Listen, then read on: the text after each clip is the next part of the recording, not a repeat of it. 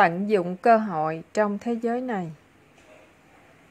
Khi xuống thế giới này, chúng ta được ban cho tất cả mọi công cụ, thiết bị cùng những tình huống để chúng ta có thể phát triển và cố gắng vượt qua, chiến thắng được lòng căm ghét phát sinh từ hoàn cảnh hay tình huống đó. Đôi khi chúng ta được đặt trong điều kiện bất lợi để xem chúng ta có thể thương kẻ thù mình không. Nhưng thường thì chúng ta thường thất bại trong việc thương kẻ thù. Có lúc chúng ta thất bại, có lúc chúng ta thành công. Và càng thành công thì dĩ nhiên quả vị của chúng ta trong vũ trụ càng cao. Và chúng ta sẽ được ban cho nhiều cơ hội để làm những việc tốt hơn, hứng thú hơn và có tầm dốc vũ trụ hơn. Chúng ta có thể phát huy nhiều tài năng mà chúng ta không bao giờ có thể tưởng tượng là mình có được chúng ta sẽ được ban cho các vai trò lãnh đạo ở thiên đàng. Chẳng hạn như dạy dỗ rất nhiều chúng sinh thiên đàng. Hoặc là chúng ta đến thế giới này, trở thành minh sư, những vị thầy tâm linh, hay có vai trò đặc biệt nào đó, dẫn dắt nhân loại trở về thiên quốc. Bằng không, chúng ta không có được cơ hội này nếu chúng ta buông thả, biến nhát trong thế giới này thời gian duy nhất mà chúng ta được ở trong trường học. Đừng nghĩ rằng quý vị sẽ được ban cho cơ hội và được trở lại nữa. Không hẳn vậy. Không luôn như vậy. Những chủng tử dna mới là cái lưu lại. Những thông tin từ dna đó, những sự ham muốn, tất cả năng lực của sự ham muốn là thứ lưu lại, là cái đi tái sinh không phải linh hồn của quý vị, không phải con người thật của quý vị đi tái sinh. Có quá nhiều linh hồn đang chờ để vào trường học này. Tôi không có chỗ để quý vị ở lại phía sau. Quý vị có thể làm thế, nhưng phải đợi rất lâu. Và trong khi chờ đợi, quý vị đau khổ. Đau khổ từ nỗi buồn của chính mình. Tình thương của thiên đàng luôn ở đó, nhưng quý vị cảm thấy hối tiếc về những cơ hội mình đã bỏ lỡ. Quý vị ao ước có thể làm lại và tự hứa sẽ làm tốt hơn. Nhưng khi được cho cơ hội, quý vị lại quên. Vấn đề là vậy. Đó là vì sao đôi khi chúng ta phải trở lại để học lại.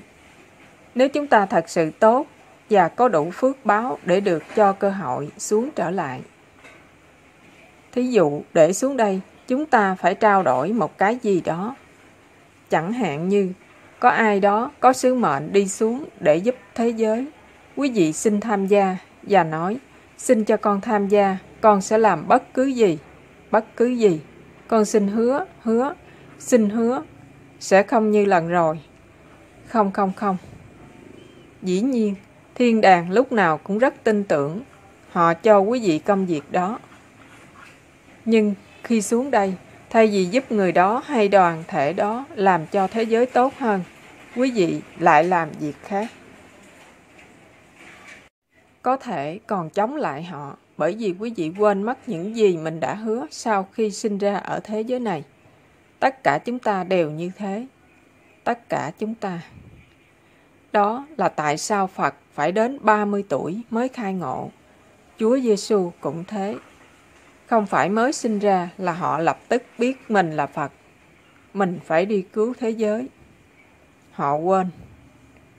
Nên sẽ có nhiều cơ hội thúc đẩy từ thiên đàng.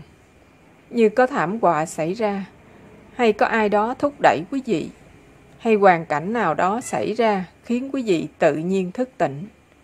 Hoặc là có người bạn nào đó xuất hiện, thậm chí có người ăn xin nào đó ngoài đường nhắc nhở quý vị về bản chất vô thường của cuộc đời này. Những người ăn xin ở đây cũng là thiên thần. Đôi khi, sự đau khổ là để thức tỉnh chúng ta. Một số người đến đây để làm việc lớn, một số người đến làm việc nhỏ để có đủ phước báo làm người. Hầu có thể ở trong trường học này và kiếm công đức để tiến quá xa hơn ở thiên đàng. Và rồi thiên đàng có thể ban cho họ một cơ hội khác để tiến bộ xa hơn. Master Thanh Hải Vô Thượng Sư khai thị vào ngày 6 tháng 9 năm 1994 tại Hawaii, Hoa Kỳ. Bản tin số 49 Kẻ sát sinh và kẻ bị hại Dấn Có người giết những thú vật có cảm xúc, thí dụ như chó, để ăn. Điều gì sẽ xảy ra cho những người hung ác đó? Những ai giết thú vật và các bạn thú vô tội? Sư phụ, người sát sinh là người thiệt thòi và những ai bị giết sẽ được hưởng. Vì vậy, chúng ta nên tội nghiệp người sát sinh, không phải người bị sát hại. Thật ra, những ai bị sát hại sẽ được giảm nghiệp quả xấu và sẽ tiến hóa cao hơn. Người giết thật ra đã tự giết chính họ hoặc giết một phần của họ, làm trì quản sự tiến hóa của họ. Đôi khi, chúng ta thấy nạn nhân và sát nhân, chúng ta thường thương hại nạn nhân. Nhưng thật ra, kẻ sát nhân mới đáng tội nghiệp. Họ không biết họ sẽ gặp những phiền phức gì. Họ không biết là họ đã tự hại bản thân.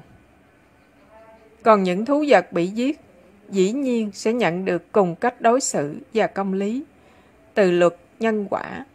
Có nghĩa là gieo nhân nào thì gặt quả đó. Bất cứ làm điều gì, chúng ta sẽ nhận lãnh hậu quả của hành động mình làm. Đó là luật nhân quả. Trích đoạn từ bài giảng của Master Thanh Hải Vô Thượng Sư vào ngày 19 tháng 2 năm 1992.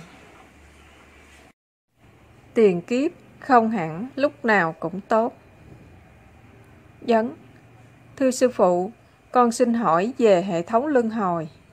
Chúng ta có thể đầu thai ngược dòng thời gian không? Thí dụ, Albert Einstein có thể đầu thai thành Isaac Newton của trăm năm trước đó không? Sư phụ, anh muốn nói là trở về tiền kiếp. Anh muốn quay trở về thời gian trước, chẳng hạn thời Einstein phải không?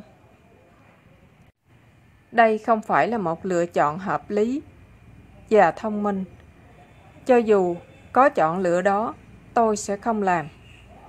Cho dù tôi đầu thai ngược thời gian, ví dụ thời vua Càn Long, hoàng đế của Trung Hoa, ông có tất cả quyền lực và cai quản toàn cõi Trung Hoa, nhưng tôi không thích. Vào thời đó, vua chỉ có xe ngựa và rất cực nhọc khó khăn để đi từ nơi này đến nơi kia, mất rất nhiều thời gian. Cung điện của vua không có cửa sổ bằng kính, chỉ có cửa sổ giấy.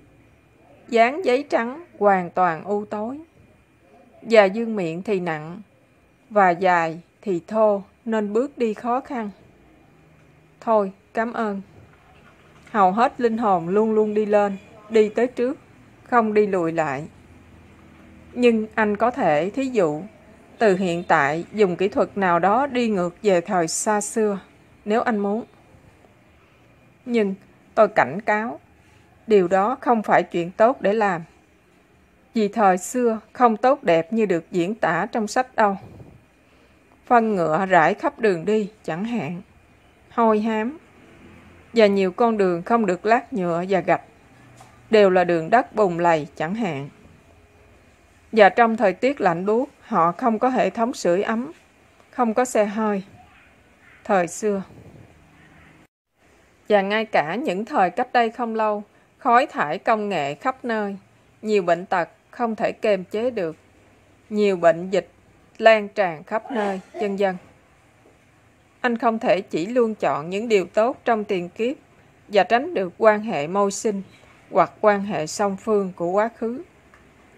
Đầu thai nếu muốn, nhưng hãy đi về tương lai. Tương lai mình có thể viếng thăm. Trong lúc thiền cũng có thể thấy tương lai những gì xảy ra. Chỉ phần nào, không phải tất cả. Như Nostradamus, ông cũng thấy rất nhiều điều trong tương lai và đã cảnh báo nhân loại. Ông đã tiên đoán nhiều điều. Ông thấy trước tương lai 400 năm, 500 năm. Và tiền kiếp, anh không cần phải đầu thai mới biết được. Đôi khi anh cũng có thể thấy trong khi thiền. anh có thể thấy mình đã làm gì trong tiền kiếp, hoặc đã ở đâu, và là người như thế nào. Điều đó có. Như vậy, nhiều đồng tu cũng đi trở về tiền kiếp, vô tình hay cố ý. Và họ thấy họ là ai, và tôi là ai, chẳng hạn như vậy. Và đôi khi họ trở về kể cho quý vị nghe trong phần chia sẻ thể nghiệm chẳng hạn. Tôi nói rằng tôi là vị này, vị kia. Tôi là vua của xứ này, xứ kia. Tôi là minh sư mang tên này, tên kia. Đó là sự tái sinh tạm thời trong lúc thiền. Quý vị có thể đi ngược về quá khứ và đi tới tương lai khi đang ở đây. Nhưng đừng đến đó để ở luôn. Tiền kiếp không hẳn lúc nào cũng đẹp. Lịch sử quá khứ. Nếu không kềm chế được rồi đi ngược quá xa và gặp những con khủng long thì ôi thôi, làm sao đây? Chúng sẽ ngoạm quý vị lên giống như con ruồi và dùng quý vị làm tâm xỉa răng. Ghê quá! Tiền kiếp, lịch sử quá khứ của nhân loại không phải luôn thú vị. Người ta phải bới tìm thức ăn và dùng đá để cắt xẻ. Sống trong lều không luôn thoải mái. Thế anh còn muốn đi ngược về quá khứ không? Dánh, dạ không muốn. Con chỉ muốn biết điều này có thể được không? Sư phụ, có thể được. Nhưng linh hồn không bao giờ làm vậy. Linh hồn không thể hiểu vì sao phải đầu thai vào quá khứ, lịch sử quá khứ của nhân loại. Bởi vì chúng ta bây giờ đã tiến bộ hơn. Trích đoạn lời Master Thanh Hải Vô Thượng Sư, giảng vào ngày 2 tháng 7 năm 2013 tại Pháp.